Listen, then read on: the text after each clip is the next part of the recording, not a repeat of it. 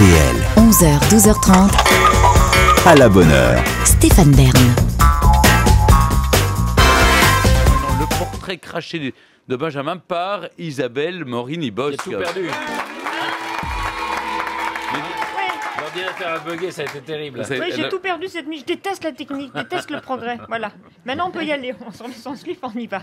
Bon, ben dites donc, vous aimez, Stéphane, me faire faire le grand écart, vous, hein, parce que me faire associer dans le même portrait des artistes, bon, j'ai vu qu'ils s'entendaient très bien, mais au départ, des artistes qui, a priori, avaient autant de points communs entre eux que des droites parallèles, ben franchement, c'était pas simple. Entre Elsa, la parisienne, et Benjamin, le lyonnais, sauf évidemment le lien secret qu'on m'aurait caché, il y avait quand même aucun rapport, si j'ose dire, bah, du moins jusqu'à cette minute précise, parce que des fois, comme dit l'autre, on refuse, au nom de ce qu'on aime aujourd'hui, de voir ce qu'on aimera demain. En tout cas, ils ont l'air de s'entendre super bien. Je pense qu'on les gêne plutôt qu'autre chose. Là, ils restent tous autour. Et avant d'aller plus loin, vous trouvez mal Stéphane. Patrice, que les deux font, ben non, du bien, que les deux font la paire.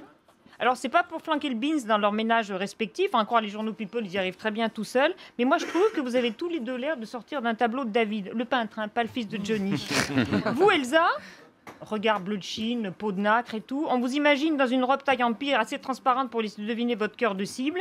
Et vous, Benjamin, constant ou pas, on vous imagine avec le jabot, la mèche romantique, vous l'avez d'ailleurs, et complètement cintré. Enfin, la veste complètement cintrée. Bref, Mais le même reste, c'est ceux- peut-être un peu mais- aussi. Bref, même ceux qui ne peuvent pas voir en peinture doivent l'admettre. Vous êtes beau et croyez-le, ça m'embête sacrément de le constater parce que finalement, la seule chose que j'ai de plus que vous, c'est 10 ans et encore, je ne peux pas faire le calcul. Je ne vais pas pleurer tout de suite, je vais d'abord passer à la suite et commencer par Elsa. Il faut toujours commencer par les dames, les dames comme en Hollande. D'ailleurs, Benjamin, Didier l'a rappelé, aime aussi le Hollande, mais chez lui, c'est plus politique. Alors chez Elsa, or donc, ce qui me fascine d'abord, c'est son statut. Elle est fille de physicien. Je trouve que ça en jette, moi. Bah Elsa, en tout cas, votre papa, il n'a pas raté le vôtre de physique. hein. Ça, les particules élémentaires sont bien mises en place. La physique est, paraît-il, une science exacte de la nature. J'ai vu ça dans le dico, bah, vous en donnez la preuve. hein. Pas d'erreur de dosage. Quant à la physique quantique, on en parlera plutôt avec Benjamin Biolay, parce que le quantique, c'est son rayon. Et moi, de toute façon, je viens d'épuiser là, d'un seul coup, toutes mes connaissances scientifiques. Alors, vos études aussi ont été physiques. Vous avez certes fait un bac artistique, moi aussi. Benjamin, lui, il a les bacs des mégastores, mais vous avez aussi pratiqué la danse classique, Stéphane vient de le dire. Or, si c'est pas physique, ça, en même temps, c'est pas pour dire, mais le cinéaste Piala s'est plus intéressé à vos pointes de 5 qu'à celles de vos chaussons. C'était pour Van Gogh en 91, vous deviez apparaître comme figurante. Mais Piala, ayant piaillé et viré la jeune femme qui devait jouer Cathy la Catin, ben, il vous a donné le rôle. Et pour un coup d'essai, c'était un coup de maître, et même de maître flamande, puisque vous avez été nommé au César. Finalement, vous l'aurez en 2009. Benjamin aussi, il a été nommé au César de l'or. Moi, j'avais adoré ce film, Van Gogh. On y voyait en plus de magnifiques culs de percherons pour m'en tenir à cela. Puis après, vous avez enchaîné cinq... Ah, ben, Elle regarde ça dans les films. Ah, non, mais, ah, mais moi, les chevaux de trait, moi j'adore ça. Après, vous avez enchaîné, les bourrins aussi. Après, vous avez enchaîné 52 ou 53 films, beaucoup d'histoires de panne d'ailleurs, et c'est là que je vous ai un petit peu perdu de vue jusqu'à ce que vous fassiez de la télé. Ça, j'ai tout vu à la télé. Parce que moi, comme j'aime rire au cinéma, forcément, je vois pas tous les films français. hein. Tant pis, on s'aime bien quand même. si, si, j'avais tout de même vu L'homme est une femme comme les autres, parce que moi, j'adore cette formule. Elle me rappelle celle de Guitry. Je veux bien que les femmes ne soient supérieures pour qu'elles ne soient pas nos égales. J'adore ça. Et sur cette forte parole, j'en viens à vous, Benjamin Biolay.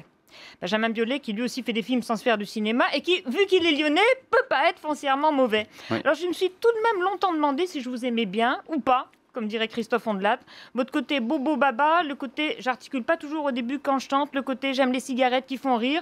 Moi, les joints, je les aime moins au coin de la bouche qu'au bas des portes pour éviter les courants d'air. Je trouvais que vous manquiez pas d'air. Et Moi, puis, j'ai commencé à vous écouter, à vous écouter, à lire vos interviews, et je me suis dit qu'un type qui arrivait à placer de toute façon la TCOR dans une chanson, eh ben, il méritait qu'on le renive de près.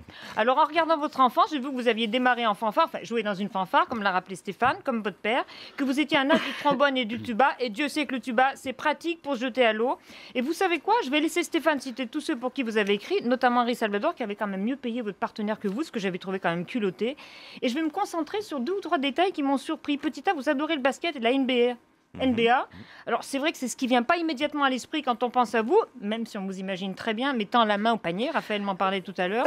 Petit B, il paraît que le désir vous vient comme ça n'importe où. Désir d'écrire s'entend. Un jour, par exemple, vous êtes avec Isabelle Boulet, que j'adore, et brusquement, paf Une envie pressante vous vient comme ça, et vous n'avez pas d'instrument sous la main. Alors, il y a que la petite guitare rose de la nièce d'Isabelle. Vous prenez la guitare, vous l'embarquez, et là-dessus, vous lui écrivez un tube. C'est vrai? Bah oui, c'est vrai. ça, ça m'a vraiment frappé. Et puis, vous savez quoi, en conclusion J'espère que ça se passera comme ça avec Vanessa Paradis. Pareil que vous rêvez de la faire chanter. Et comme on est en période de fête, que j'ai le caractère nettement mieux fait que la figure, et ben, je fais le vœu que vous y arriviez. Allez, joyeux Noël. Avant l'heure, c'est déjà l'heure. Isabelle Morini-Bosque. Merci Isabelle.